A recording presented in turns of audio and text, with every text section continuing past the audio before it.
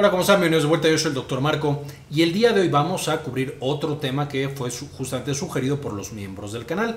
En esta ocasión vamos a hacer farmacología de levofloxacino, ciprofloxacino y las fluoroquinolonas en general. Veamos estos importantes fármacos. Vamos a la farmacología de las quinolonas, lo bueno, lo malo y lo feo. Las quinolonas son uno de los antibióticos más utilizados debido a la alta potencia y alto espectro que tienen, es decir, podemos usarlo contra una gran variedad de microorganismos, específicamente bacterias. Por supuesto, como los otros antibióticos, que son por supuesto antimicrobianos, estos no van a funcionar contra hongos, virus o alguna otra cosa que no sean bacterias y algunos tipos de bacterias. Y los eventos adversos son raros, es decir, la mayoría de los pacientes que usan quinolonas no los presentan, pero los que llegan a tener eventos adversos pueden llegar a tener eventos adversos bastante raros que otros medicamentos y en particular otros antibióticos no comparten. Y aquí abajo tenemos, por supuesto, la estructura o el esqueleto del que se van a formar la gran mayoría, si no es que todas las quinolonas. Específicamente estas van a funcionar sobre el ADN. El ADN, por supuesto, es esta estructura helicoidal que nosotros tenemos en nuestro eh, centro de las células. Vamos a necesitar que estas dos hebras se abran y entonces en medio podamos nosotros acoplar ciertas proteínas, cierto ARN, etcétera, etcétera, para que de ahí se sinteticen las proteínas que requieren nuestras células. Entonces, para eso se va a requerir una enzima llamada topoisomerasa. La topoisomerasa esencialmente se acopla al ADN para que éste se pueda desdoblar. Cada especie va a tener una topoisomerasa específica. Esencialmente lo que hacen las quinolonas es que se van a pegar a esta topoisomerasa específica de las bacterias Evidentemente, no, cada bacteria tiene su topoisomerasa, entonces va a depender la estructura de la quinolona que estemos usando para saber con qué topoisomerasa puede acoplarse. Y esencialmente cuando se acoplan a esta topoisomerasa no dejan que funcione y eso lleva a que cuando se separe el ADN para leerlo y poder sintetizar las proteínas, este quede completamente destruido y por supuesto vamos a tener la muerte de esa célula. Una vez más, en este caso estamos hablando de la muerte de las células bacterianas.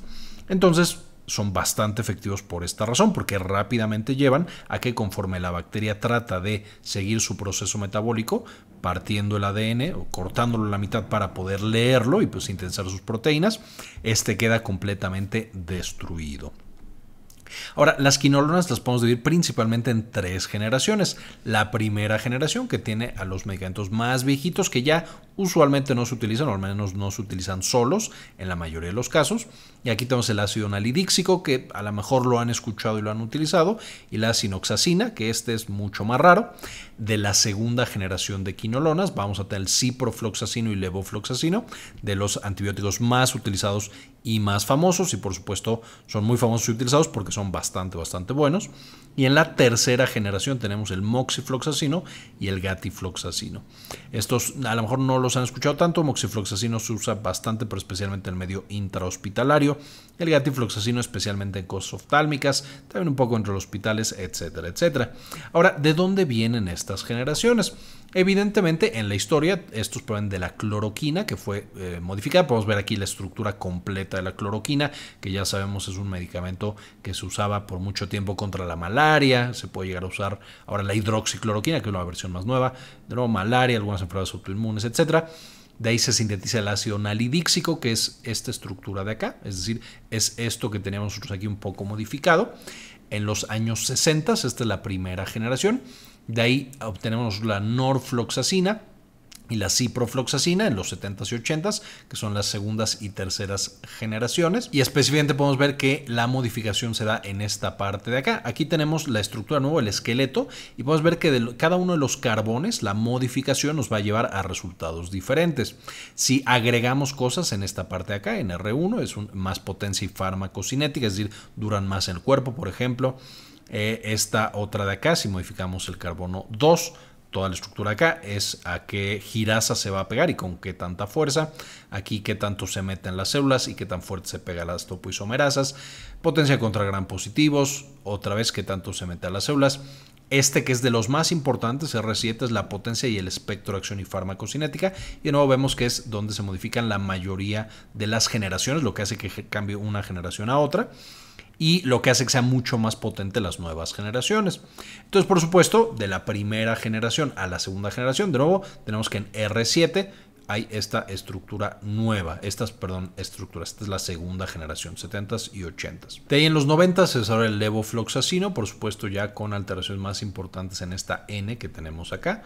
Se le agregó todo un círculo de carbonos acá. Eh, podrán también notar que aquí hay incluso una cuarta generación en la que meten moxifloxacino y gemifloxacino. Entonces depende de la literatura si lo viven en cuatro o en tres generaciones. De todos modos, en esta cuarta generación, que es de los 2000 al presente, por supuesto vemos que de nuevo se sigue cambiando estas estructuras, especialmente en R7, y por supuesto nos da unas eh, quinolonas cada vez más potentes y con espectros diferentes de bacterias. Más adelante, cuando veamos las infecciones tal cual, vamos a ir viendo cuáles son los tipos de quinolonas que eh, benefician a cada una de las infecciones, a cada uno de los pacientes. Pero bueno, con que sepan que esta eh, estructura original de los 60 ha ido modificándose principalmente en el R7 para tener las nuevas generaciones y que son cada vez más potentes y con un espectro diferente a lo que teníamos originalmente en cuanto a estas eh, quinolonas. Eh, algunas de estas se van a llevar fluoroquinolonas, por supuesto, porque tienen este flúor, de nuevo, en esta R6 y eso es lo que las lleva a ser justamente fluoroquinolonas. No todos son, por supuesto, fluoroquinolonas, pero son de los que más se utilizan en la actualidad como antibióticos. Ahora, ¿cuáles son las indicaciones? De nuevo, como tenemos tanta flexibilidad química, hablando de estas sustancias químicas y estos medicamentos, vamos a tener justamente que tiene un espectro extendido. Es decir, originalmente, especialmente el ácido anhidríxico, era más bien para gram negativos, todas las quinolonas van a compartir justamente este efecto sobre gram negativos. Sin embargo, cuando cambiamos estos R7, estas partes de la estructura, vamos a empezar a pegarle a bacterias gram positivas e incluso algunas difíciles de tratar como pseudomonas y bacterias anaerobias. Esto los hace un buen fármaco para tratamiento de infecciones de vías urinarias, desde muy leves, de nuevo con el ácido anhidríxico, hasta mucho más severas, infecciones cutáneas, que aquí podemos tener incluso abscesos, pero también celulitis, eh, alguna otra infección cutánea. Osteomielitis, por supuesto, una infección bastante complicada, puede manejarse también con estas quinolonas. La neumonía, tanto la adquirida en la comunidad como la neumonía hospitalaria, infecciones del sistema nervioso central, y también infecciones por pseudomonas. De nuevo, esta bacteria extremadamente resistente y peligrosa nos puede, eh, puede ceder ante la administración de fluoroquinolonas. Incluso, por supuesto, vamos a tener que algunas micobacterias van a poder ser manejadas con este grupo terapéutico. Entonces, una vez más, de los antibióticos actuales son de los más utilizados y de los más efectivos y por eso es tan importante que conozcamos su uso. Ahora, van a ser también diferentes en cuanto al perfil de eventos adversos. Algunos van a ser compartidos con el resto de los antibióticos y aquí tenemos por supuesto las alergias, al ser sustancias tan extrañas que nuestro cuerpo no produce, puede llevar a alergias como rash, como anafilaxia. También de manera muy particular pueden llegar eh, al paciente a tener fotosensibilidad.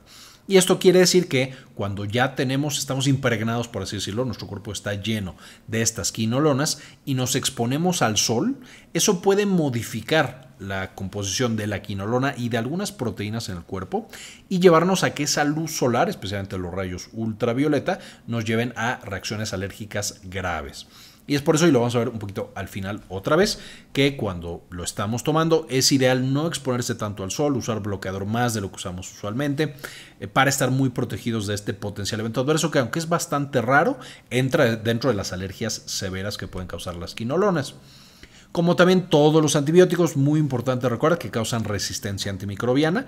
Esto es en todos los pacientes, el 100% de los pacientes que utilizan quinolonas van a desarrollar clonas de las bacterias, es decir, versiones de las bacterias que tenían que se vuelven resistentes a las quinolonas. Y con el uso repetido, por supuesto, ya no funciona el antimicrobiano, el antibiótico, y de la misma manera estas bacterias pueden pasar de una persona a otra. Entonces, el uso, mientras más utilicemos los antimicrobianos, especialmente las quinolonas, mayor resistencia hay a estos antibióticos, hasta por supuesto que llegue el punto en el que no funcionen para nada. Esto es algo natural de todos los antibióticos, es por supuesto una gran crisis que estamos enfrentando, pero eh, por supuesto también por eso es ideal usar lo menos posible, solo en casos indispensables, las quinolonas.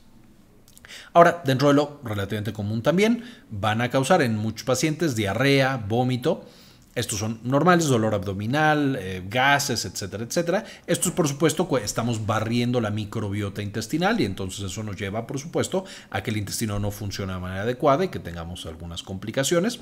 La versión, de nuevo, más severa de esto, afortunadamente rara, es la colitis pseudomembranosa, que es cuando tenemos una infección por una bacteria muy, muy agresiva llamada Clostridium difficile. Esta bacteria es esencialmente resistente a la mayoría de los antibióticos y entonces, como nosotros barrimos toda esa microbiota, invade este Clostridium difficile y tenemos estas eh, infecciones que generan dolor intenso, causan un sangrado importante, pueden causar incluso peritonitis y la muerte de los pacientes si no se detectan y se atienden rápidamente estas colitis pseudomembranosas.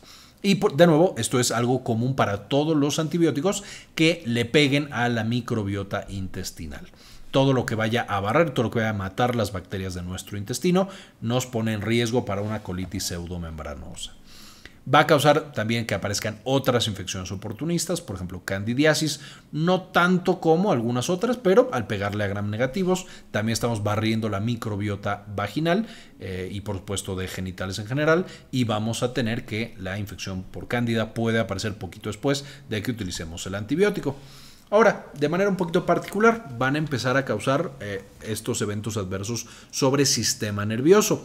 Afortunadamente, la mayoría no son frecuentes pero puede llegar a aparecer en los pacientes cosas como cefalea, vértigo, somnolencia, alucinaciones, trastornos visuales y neuropatía.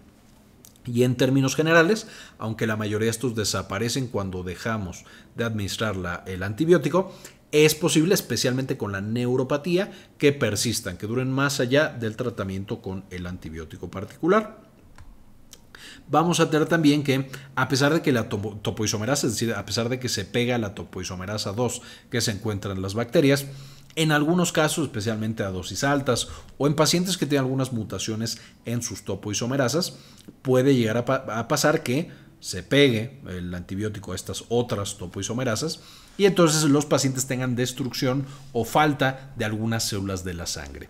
Cosas como eosinofilia, que es por supuesto demasiados eosinófilos, pero especialmente leucopenia, muy poquitos leucocitos, células del sistema inmune en sangre, neutropenia, que es baja de neutrófilos, y trombocitopenia, una baja de plaquetas. Todo esto se puede deber ya sea a esta acción sobre la topoisomerasa, a algunas de estas acciones eh, o potencial de alergia que puede llegar a causar o de pequeñas reacciones autoinmunes asociadas a la administración de este tipo de fármacos.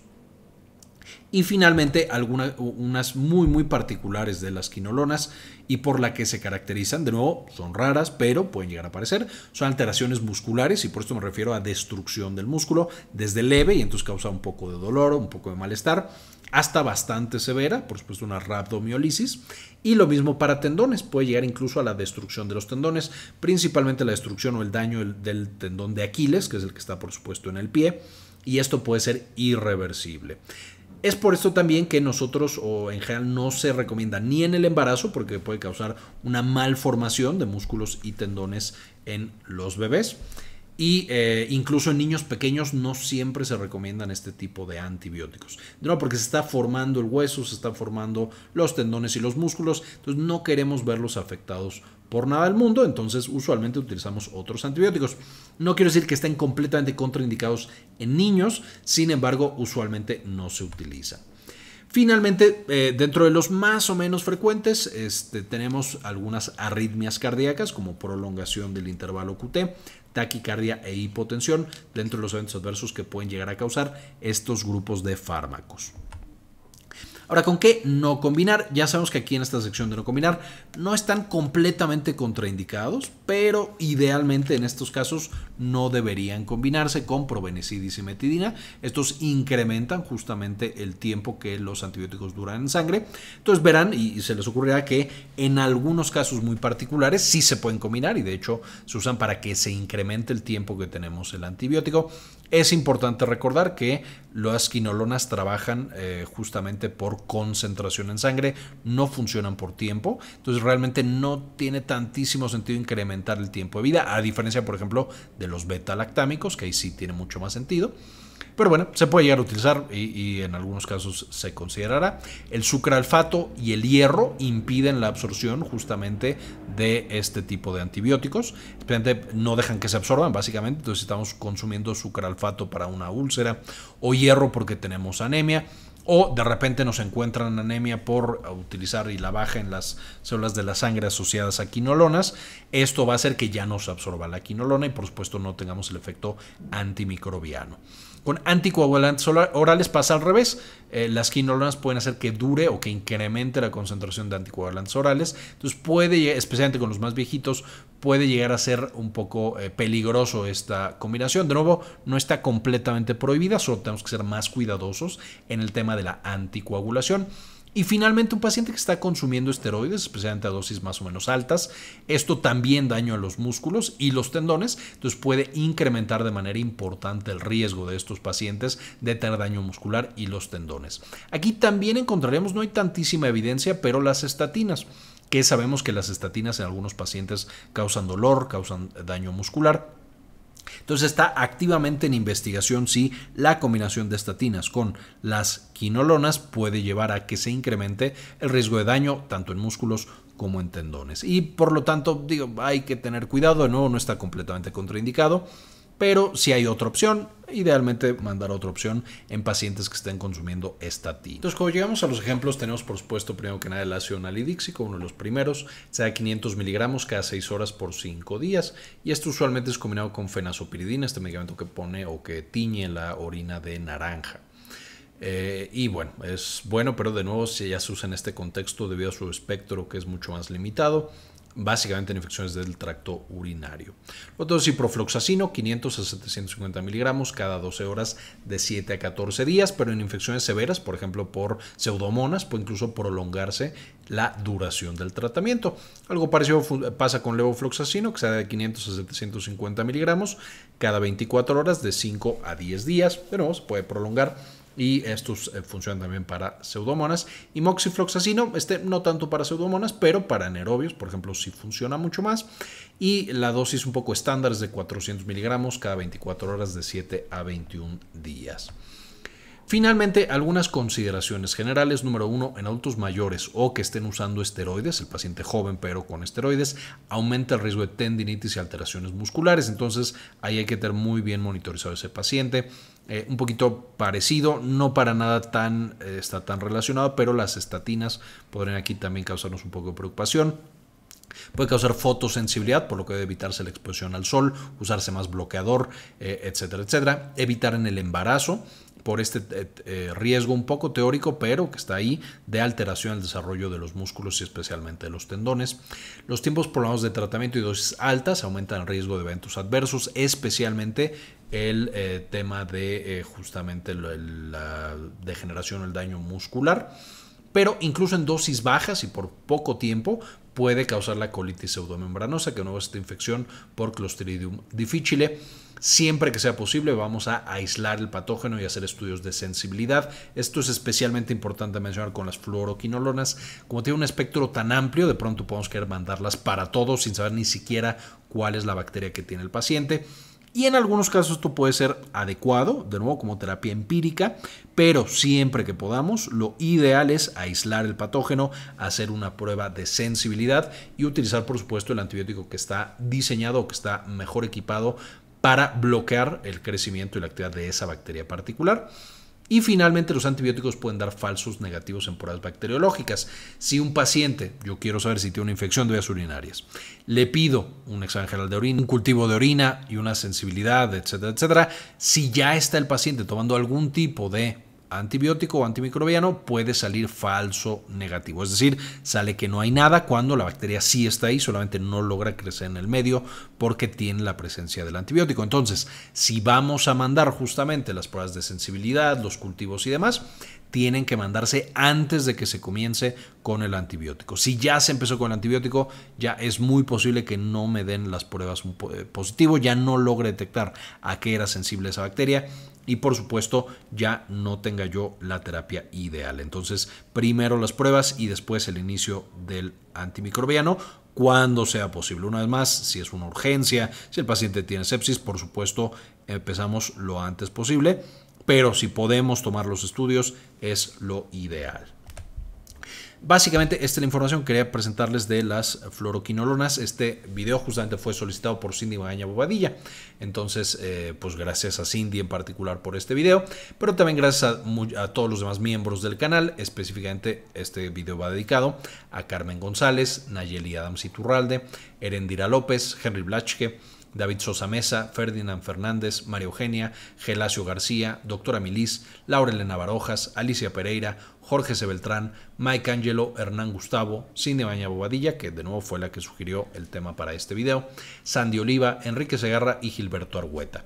Les dejo también las referencias para que puedan checarlas, leer más de estos medicamentos. Evidentemente, cuando ya vayan a usar los medicamentos, hay que volver a repasarlos, volver a estudiarlos y ver para cada una de las indicaciones cuál es la dosis adecuada, cuál es la temporalidad de la prescripción, etcétera, etcétera. Gracias por ver este video y esta es la información. Muy bien, esto fue todo por el video, espero les gustara, le entendieran. Con esto terminamos y como siempre, ayúdenos a cambiar el mundo, compartan la información.